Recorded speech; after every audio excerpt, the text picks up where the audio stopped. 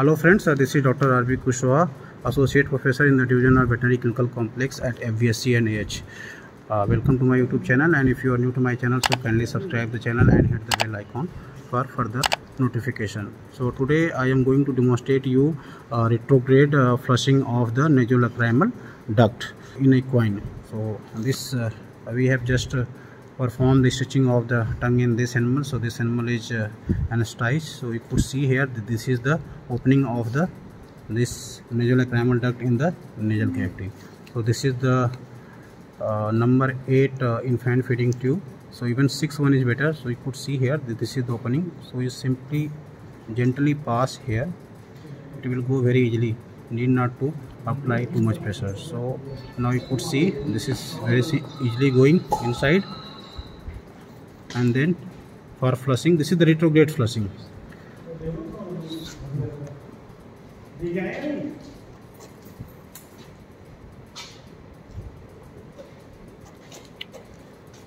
So just take the 20 ml normal saline solution and with this. And then you flush. So definitely you will see here the flow. So at the time of flushing you should now you could see so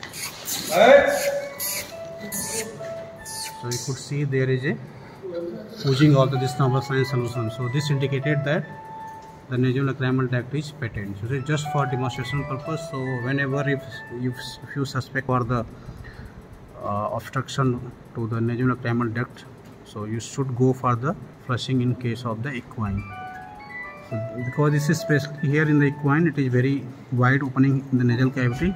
So you could do even you could perform uh, through here the normograde flushing but for from to insert from the hair you need a very fine catheter.